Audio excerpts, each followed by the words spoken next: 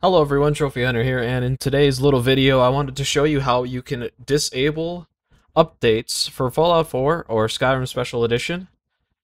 It's actually a very simple thing. It just requires you to move a little file out of the Steam directory and you can just put it anywhere on your computer for backup. And Steam will think that Fallout 4 is no longer installed. And what you can do then is come over here. So let's uh, let's first show you what I did. So I believe when I installed Fallout 4, it put the app-manifest.acf file that Fallout 4 has that tells Steam it's installed and what version it is and stuff.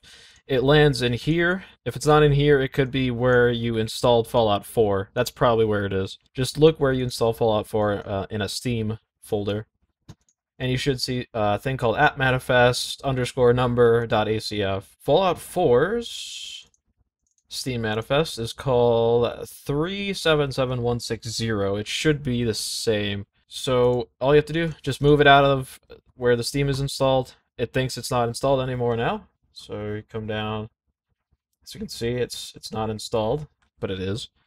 And you can add Fallout 4 script extender to Steam. Just go, you know, add game, add a non-Steam game, and you can browse for it.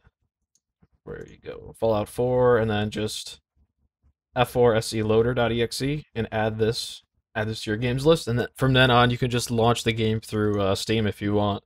Or you could launch it through uh, nexus mod manager. But yeah that's how you stop steam from uh, randomly updating when you don't want it to. I hope this was helpful and see you in the next video